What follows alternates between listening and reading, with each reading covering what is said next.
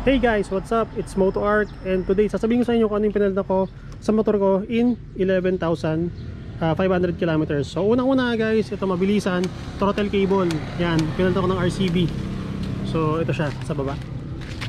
Okay, kita nyo guys, di ba buong buo? Yan, mas makapal. Ngayon guys, sabihin ko sa inyo, kapag binuksan nyo itong fairings tulad ko, una mo makikita dyan, sa stock, stock natin to ha, sa stock na throttle cable, is buo din siya, ganyan. So huwag kayo magpapaloko kasi baka 20,000 kilometers na kayo, nakita nyo buong ganyan, tapos sabi nyo, ay okay pa naman, ibabalik ko yung fairings, hindi ko muna papalitan. So guys, huwag kayo magpapaloko doon, dapat iangat-angat nyo ng konti to, gamit yung screwdriver, kasi yung putol nito guys, hindi nyo makikita dito sa loob. I mean, hindi nyo makikita dito sa labas. Yung putol niyan ay nandun banda sa loob. So, kailangan nyo iangat ng konti to. And then, makikita nyo, possibly, andun na yung mga napuputol na maliliit na hibla ng uh, throttle cable. So, pag nakita nyo yun guys, huwag na kayong magpa-tumpik-tumpik pa. Palitan nyo na yung throttle cable nyo na pang Sniper 150 or ng RCB na pang Sniper 150. Make sure na yun yung bibili nyo kasi guys, importante to. Pag ito naputol, yan, stranded ka lalo na pag nasa long drive ka or papasok ka ng opisina, sobrang hassle nun. So pangalawa guys, ito ang pinalitan ko. Yan, yung fluid ko at 11,500 kilometers ng motor, uh, bumaba na siya hanggang dito, yung pink. So ginawa ko, dinrain ko na siya. Tapos pinalitan ko ng Freestone kasi yun din yung ginagamit ko sa kotse ko.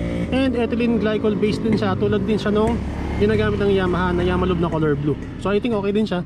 Uh, follow nyo ako guys kasi obserbahan natin kung okay ba yung Freestone sasabihin ko sa inyo kung nag-overheat ako dito sa motor nito kasi ngayon summer na so titignan natin kung okay ba siya or hindi so yun i-update ko kayo guys kung maganda magiging performance nito sa motor ko.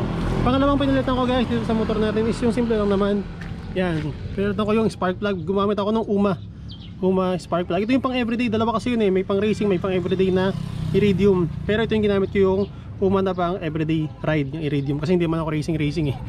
Ayan, gusto ko lang yung matibay lalo na pag long drive na hindi ako ititirik so pangapat sa panila ko guys tong air filter sinabay ko na din since binuksan ko na din tong sa gilid tsaka dun sa kabila sinabay ko na to madali lang naman kasi nasa ilalim to actually pag ano pag nabuksan mo tong fairing madali lang magpalit ng air filter ang mahirap kapag hindi ka nagbukas ng side tapos ito nasa ilalim kasi to hindi mo siya mapapalitan unlike sa mga scooter na sa gilid lang So, sinabay ko na din para isang labor na lang sa akin. Kasi ako yung ako yung nag ano yan eh, nagbaklas. Bali isang linggo itong ginawa guys, pasundot-sundot lang. Na pag may free time ako sa hapon, yan binuksan ko siya tapos unti-unti ko siya pinalitan. So yun guys, hanggang dito na lang. For more tips like this, please follow this channel. Alright? And again, this is Moto Art. Ingat po kayong lahat. Bye guys.